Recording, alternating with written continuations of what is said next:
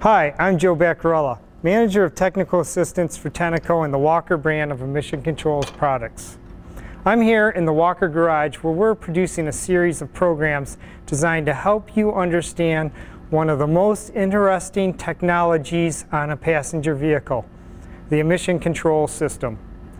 For those of you who have been around a while, you know that the gases coming out of today's tailpipes are a lot cleaner and less harmful than they were back in the 1970s, 80s, or even the 1990s.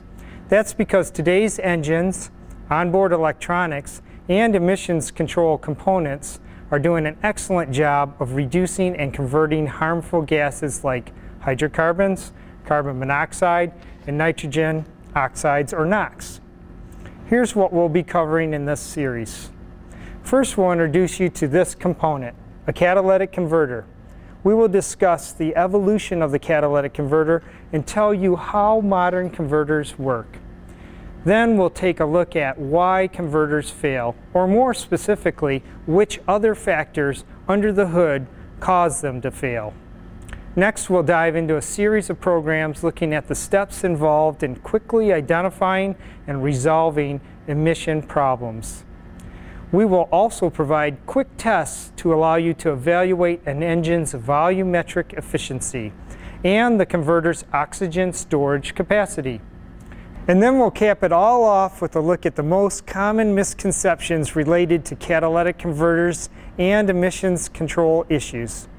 Many people assume that catalytic converters wear out on their own, but the truth is catalytic converters don't fail on their own.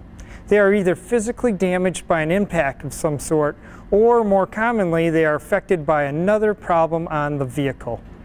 Either an engine problem, a failed sensor, or other issue that prevents them from doing their job. Bottom line, don't invest your time and money in replacing the catalytic converter until you first solve the root cause of its failure. Otherwise, you might end up facing the same problem all over again. A catalytic converter is an amazing piece of technology. There are no moving parts, no internal electronics, yet the unhealthy emissions, carbon monoxide, hydrocarbons, and NOx that enter the converter exit primarily as carbon dioxide and water vapor. It's a pretty cool technology, and we're eager to tell you all about it. So come back to the Walker Emissions Control Garage for our next program, How Catalytic Converters Work. That's it for now. Thanks for joining us.